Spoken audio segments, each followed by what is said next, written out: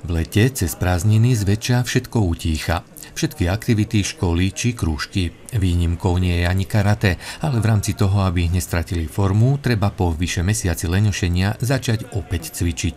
Každoročne v tomto období sa preto už od 90. rokoch stretávajú v miestnej telocvični strednej odbornej školy karatisti zo širokého okolia. No dneska myslím, že máme hosti zo Sabinova, to je asi tak najďalej našich priateľov, ktorí sa zúčastnili. E, ináč je to okolie, čiže Žiar, Hliník, e, ďalej tu máme zo Zvolená chlapov, z Nitry, Čadce, takže také okolie, ale v prvom rade sú to priatelia, s ktorými sa chceme stretnúť.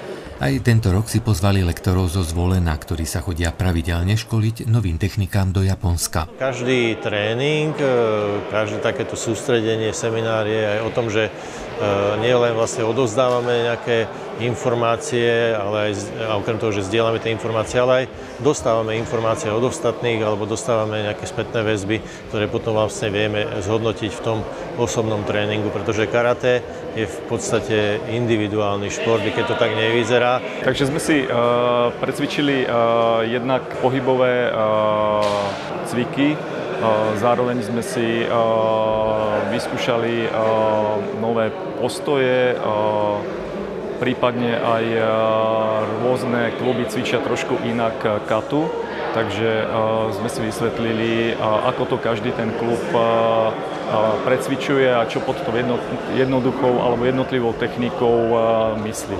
Venujem sa karate cez 40 rokov a, a bol som u rôznych majstrov, tak som bol aj zvedavý na toto stretnutie, ako to prebieha. A celkom som spokojný, je to priateľská atmosféra a, určite si odnášam nové poznatky z tohto stretnutia. Minulý rok sa ich zišlo vyše 20 karatistov, tento rok ich bolo bez jedného 30 a ten jeden, ktorý neprišiel, žiaľ už nepríde ani o rok. Bohužiaľ nám chýba jeden náš dlhoročný žiak a cvičenec, Dominik Národa, ktorý nás tragicky opustil.